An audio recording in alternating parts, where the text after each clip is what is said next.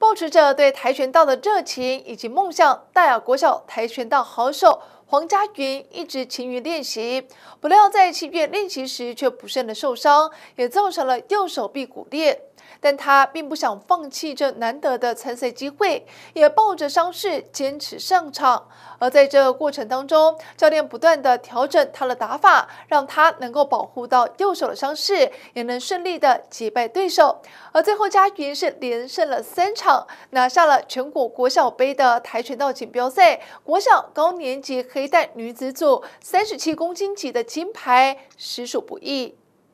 在教室内带领学弟妹练习基本动作，他是大雅国小的黄家云，练习跆拳道三年的资历，娇小的身躯打起跆拳道可是相当的干练，每一次的防守与攻击都相当精实。本着对跆拳道的热情以及梦想，让他即使受伤也不放弃参赛的机会。他还是着重在他脚步的练习。那后来比赛的时候呢，我们也尽量就是说保护他的。在保护他的那个受伤的地方的时候呢，把他平常的打法呢，哈，做了一下的改变，好，那他的教练也有很多位哈，那我们教练群呢？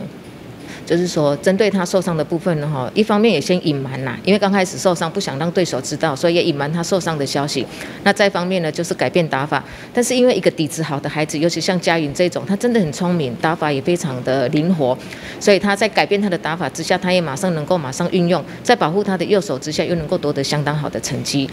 在七月份一次练习当中，不慎摔伤右手臂，造成骨裂，一度没办法参赛。但他向教练自告奋勇，教练抵不过他的坚持，只好同意在训练过程中加强脚步的部分，而在比赛过程也改变平常的打法，保护受伤的右手。我都会把我受伤的手藏在后面，然后尽量不要被踢到。但是第一场。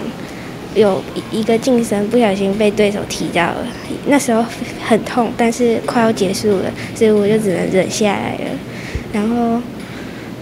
第二场的时候虽然没被踢到，但是拖了很久，体力就是有一点不足了，所以也还是能坚持了下去。然后第三场对手比较高，但是蛮好打的，所以很快就结束了。